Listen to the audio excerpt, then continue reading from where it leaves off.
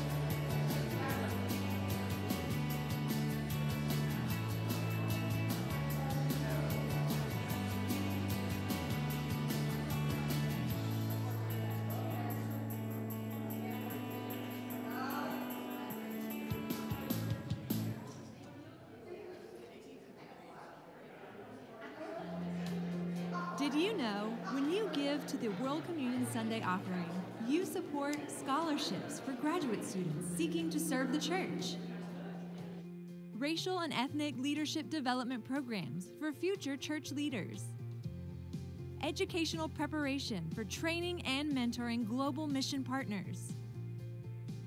World Communion Sunday calls the church to model diversity among all God's children. On this special Sunday, United Methodist congregations globally join in Holy Communion and help students reach their full potential. Offerings collected on World Communion Sunday are used to fund scholarships for young scholars and seminarians. Donations are designated for the recruitment, training, and retention of ethnic United Methodist persons from around the world, both male and female, in leadership positions in every level of the church and its ministry. Your gift brings hope, and every gift makes an impact. Help us educate leadership for tomorrow. Give through your local church, by mail, or online at umc.org/ssgive.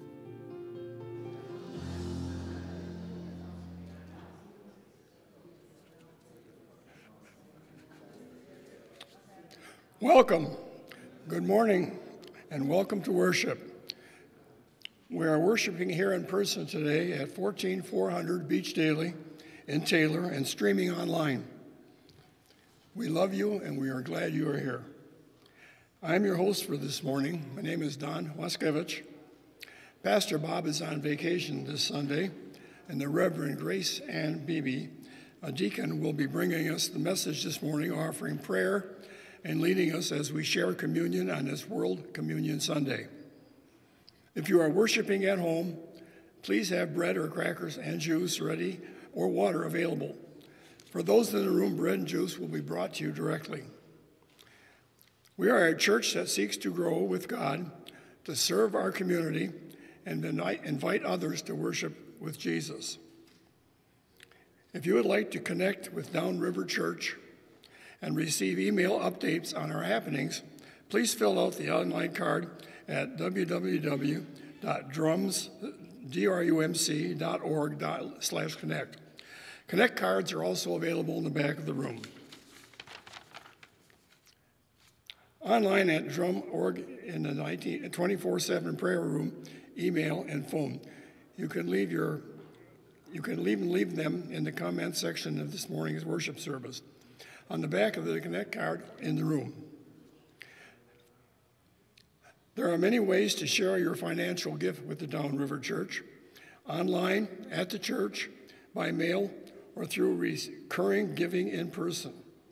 Your gifts support the mission and ministry of your church. Let people know about the Shrek movie night. It's fun for all ages. Bring your friends and family. The movie, popcorn, snacks, and beverages are free. Nachos will be available for $2, with all the proceeds going to the Eureka Heights Elementary School. Our music director, Tim Robbins, along with Colleen Mady, Bill Curtis, and Gail Brickley, will lead us in music. Bill Curtis will bring us today's scripture reading and lead us to our call to worship. Don't forget, immediately following the service, Bill Curtis and Larry Coons will be here to help anyone wishing ACE assistance with their iPhone or cell phone and tablets. Please take, take part in this morning's responsive call to worship. I'm going to do that. Okay. We come today trusting in God. We come today delighting in God. We come today committing to the way of God. We come today ready to worship in the fullness of God's community. We come today build up and righteousness. Please stand as you are able as we raise our voices in song. Lord, I lift my I lift my name, your name on high. Excuse me.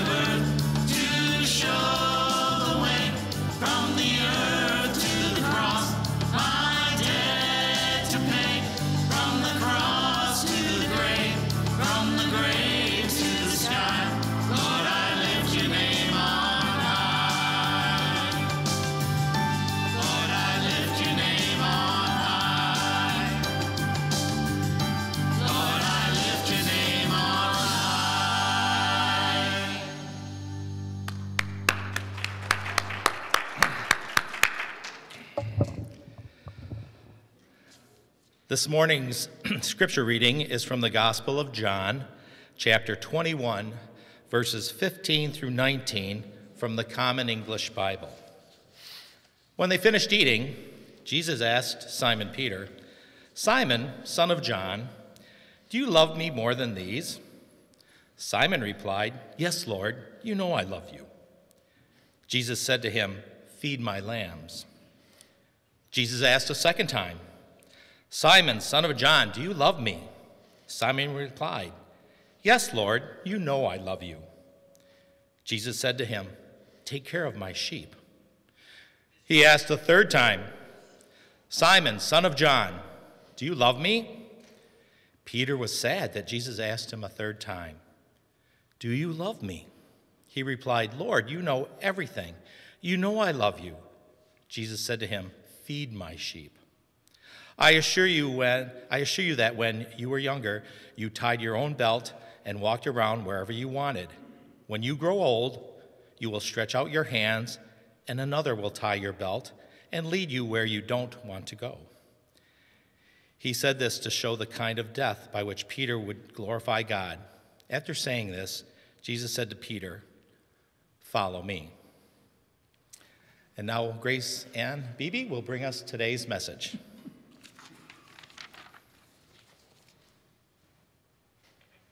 Thank you. Good morning.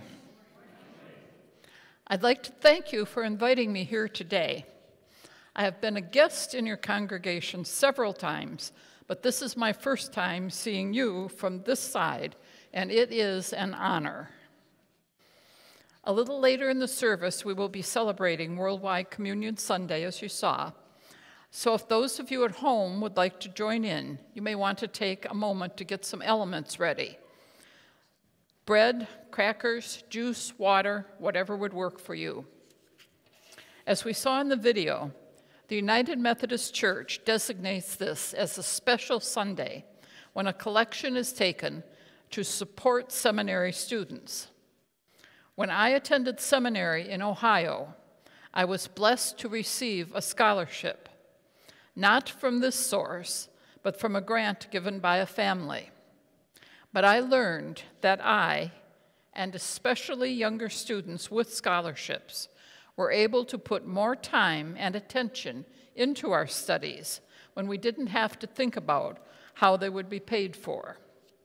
And since we want to attract people into the ministry, I think this kind of help is especially important. And now let us be in prayer. Loving God, May the words of my mouth and the meditations of all our hearts be worthy and acceptable in your sight, O Lord, our strength and our Redeemer. Amen. The scripture passage that we heard this morning begins with Jesus questioning Peter's love for him. This love, which Peter affirms three times, is then translated into Peter's charge to feed my lambs, take care of my sheep, and feed my sheep. It is love put into action. It's a passage that is rich with material for study and discussion. Today, though, I'd like us to take some time thinking about who these sheep are. Since we're not told anywhere that Jesus actually had a flock of these woolly creatures, we understand that Jesus is charging Peter with caring for Jesus' followers as a shepherd cares for the sheep, and especially as Jesus, the Good Shepherd, did. But Jesus didn't say, Feed just my sheep who look like you, or take care of just my sheep who speak your language. Jesus didn't say, Feed just my sheep who can hear you and follow you without stumbling. Jesus put no qualifiers on who was to be cared for and fed, but then he never did. If we look at the stories of Jesus among the people, we see that he actually spent a disproportionate amount of time among the outcasts of that day. People who were poor without the means to care for themselves. Tax collectors who were generally considered thieves. People with disabilities, those whose bodies did not function in ways that were considered normal then. These were the people who lived on the edges of their culture. Jesus, though, brought them from the margins of society to the center. He saw and respected their dignity and their worth. And Jesus charged Peter to do the same, to tend and feed all of Jesus' sheep. As we think about our culture and our social order today, we recognize that there are still far too many people who are oppressed and marginalized. Among them are people from different cultures, especially immigrants and migrants. People whose race is different from our own, people with disabilities, members of the LGBTQ community, people who are homeless, and so many others. If we truly want to follow Jesus' example, then, we may have to stop and examine our own attitudes and thoughts about those who may be on the margins in our world. We need to look at ways we can welcome diversity in the places we worship and in the places we lead our daily lives. And of course, we need to remember the importance of seeing Christ in every person with whom we come in contact.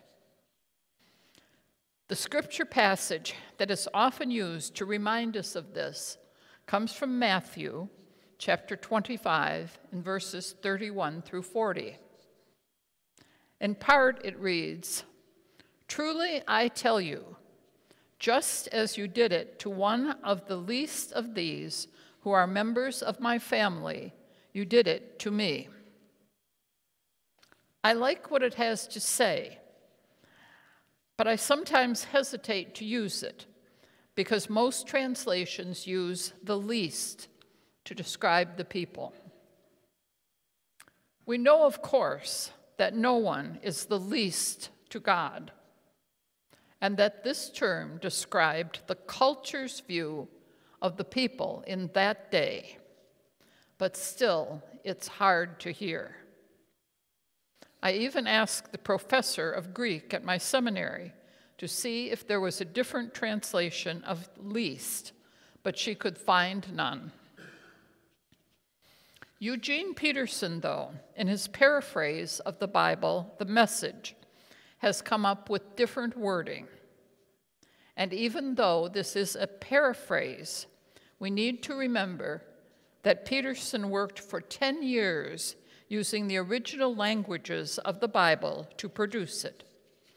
Peterson's wording puts the responsibility on us for how we see people on the margins and takes the label of least away from them. I'd like to share it with you.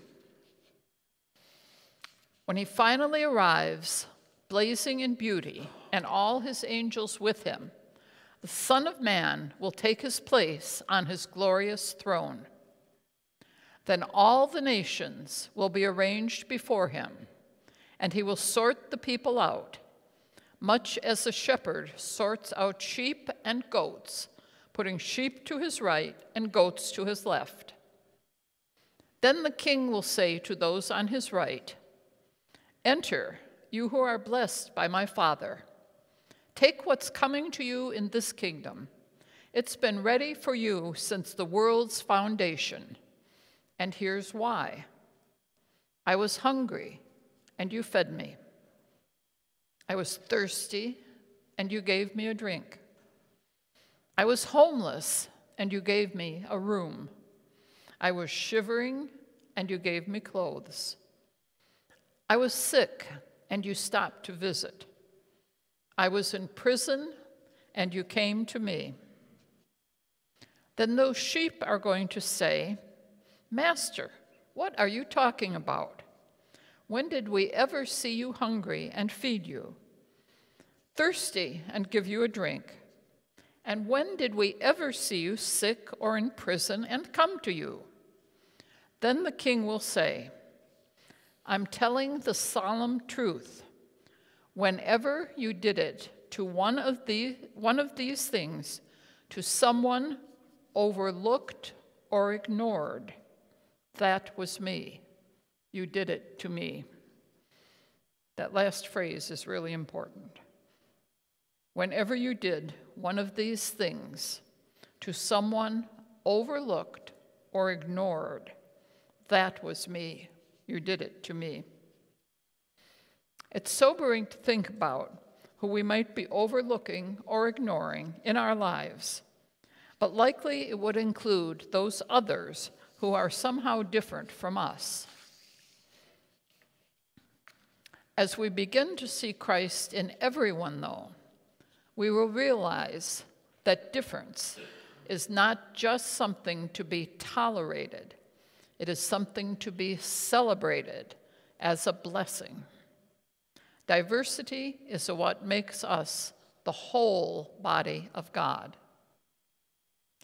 And once we begin to see everyone as a beautifully and wonderfully made person of God, we will be less likely to overlook or ignore them, and we will be more likely to appreciate and celebrate the gift of diversity in our lives. And when we have reached this point, following Peter's lead, we will be more able to accept the charge to translate our love of Jesus into acts of love for others. And then we will no longer have those left on the margins, but we will come even closer to becoming the family of God that we celebrate today in communion with those all around the world. May it be so. Amen. Let us be in prayer. Loving God, we ask your blessing on this gathering today as we prepare to celebrate Holy Communion. We think of those others all around the world who will also be celebrating this sacrament today. We ask your blessing on them, and especially those who do not have all the privileges we sometimes take for granted. We think of those who are ill, who are undergoing surgeries or procedures, or are in rehabilitation. And we ask that you would bring your healing touch, knowing that healing can take many forms. And we remember those who are affected by both natural disasters all around the world, not just in our country, and by human made disasters that also occur. Please be with all those who mourn or hold other problems in their hearts. And we lift in prayer especially anyone in this world for whom no other prayers may be lifted up today, as now we join our voices in the prayer you taught us, saying, Our Father, who art in heaven, hallowed be thy name. Thy kingdom come, thy will be done, on earth as it is in heaven. Give us this day our daily bread, and forgive us our trespasses as we forgive those who trespass against us. And lead us not into temptation, but deliver us from evil. For thine is the kingdom, and the power, and the glory forever. Amen.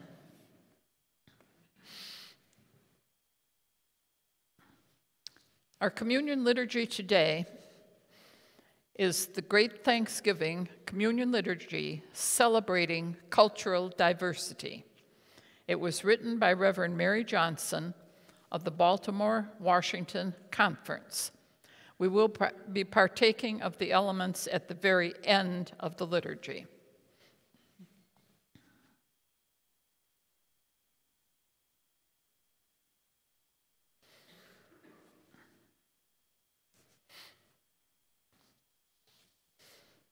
The Lord be with you. Lift up your hearts. Let us give thanks to the Lord our God. You are true to who you are and reveal to us the glories of your presence. You are a God of love who speaks against oppression and injustice. You are a God of grace who asks us to forgive those who are blind to their privilege, even as you invite the world to learn from you. You are the Creator God who weaves the beauty of diversity into something fresh and new the garment of understanding and wonder. You call us to follow you out of the familiar and comfortable, and to live by faith, calling upon your holy name and trusting in the power of your grace. You invite us to be like Jonah and preach your word in Nineveh, bringing salvation to our historical oppressors. You move our hearts to say with Ruth, Wherever you live, that is where I will now live. You will be my family, your God will be mine. I will even die for you, buried next to you. Because you show your mercy to every nation and people upon the earth, because you speak every language and delight in every culture, we join in your praise with all the earth because you have embraced people from every continent, have walked with all of our ancestors, continuing to hear your praise, even in forgotten languages that are sung continually around your throne. We join in their endless praise, saying, Holy, holy, holy Lord, God of power and might, heaven and earth are full of your glory. Hosanna in the highest. Blessed are they who come in the name of the Lord. Hosanna in the highest. You are holy, and Jesus is Emmanuel, God with us. Leaving all that was familiar in heaven, Jesus was born into the people and culture of Israel. Jesus was taught the language and the traditions of his family. Jesus worshiped in the temple in Jerusalem. Jesus came first to the lost sheep of Israel, people of his race, people of his culture. Jesus also shared your grace with Roman oppressors who lynched his people. Jesus entered into deep theological discussions with a Samaritan woman, breaking cultural taboos and stereotypes. Jesus responded to the needs of a Syro-Phoenician woman going against the deeply ingrained prejudices that his society had taught him. Je Jesus realized that you, O oh God, loved the world so much that you wanted everyone to believe, even if it meant personal sacrifice. When culture dictated that the least important was to wash feet, Jesus broke with social convention, left the seat of honor, took off his robe, and with a towel and basin in his hands, knelt and washed the feet of the one who would betray him, washed the feet of the one who would deny him, not only once, but three times, and the feet of those who would desert him to save their own lives. Jesus invites us to do the same. As an expression of culture, Jesus took the bread and remembered the historical struggles of his people and shared it with everyone, saying, Take, eat, this is my body given for you. As an expression of culture, Jesus took the cup and remembered the historical struggles of his people and shared it with everyone, saying, Drink with me, all of you, for this is my blood, poured out as a witness to the divine covenant of forgiveness with you and the whole world. Out of specific culture, Jesus works cross culturally to bring salvation to the whole world. Jesus came not just to save his own people, but all peoples. Jesus came not just to save his own economic class, but those of any class. Jesus came not just to save those in his own gender identity, but those of every gender identity. We have testified that this mystery of salvation found in Jesus Christ is for all when we say, Christ has died, Christ is risen, Christ will come again. Cross cultural dancer, Wind of Change, use these simple gifts of bread and wine to become for us the body and blood of Christ, source of your transforming power. Cross cultural dancer, Wind of Change, use the simple gift of our lives, our culture, our faithfulness, and our dreams to become for the world, the church, the authentic body and devoted bride of Christ, source of your transforming power. Cross cultural dancer, wind of change, be with all those called to cross the social boundaries of race and culture, to boldly go where only your grace could send them. Give them the courage to accept your challenge to pick up their cross and follow you.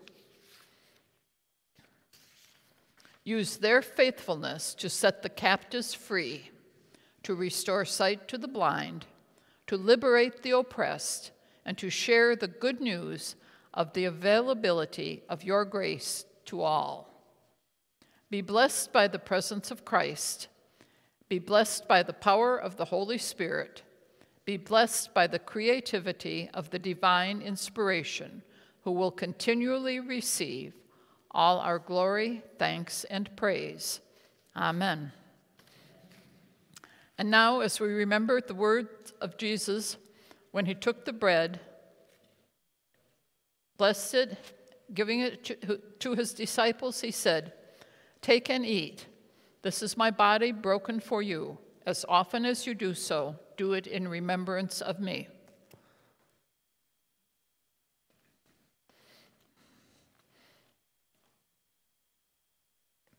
And when the supper was finished, he took the cup and, after giving thanks, gave it to his disciples, saying, Take and drink from this, all of you. This is the blood of the new covenant poured out for you. As often as you do so, do it in remembrance of me.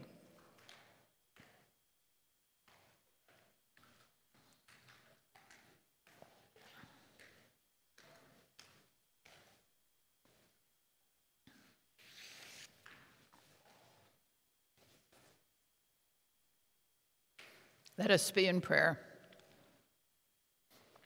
Eternal God, we give you thanks for this holy mystery in which you have given yourself to us. Grant that we may go into the world in the strength of your Spirit to give ourselves for others. In the name of Jesus Christ our Lord. Amen.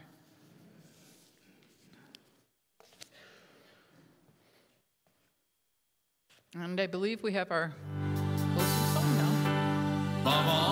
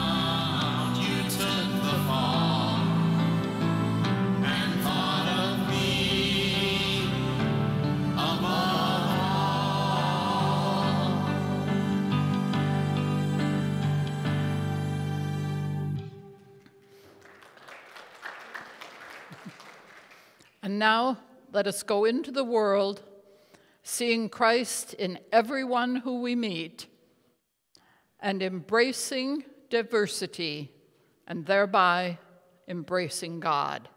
Amen.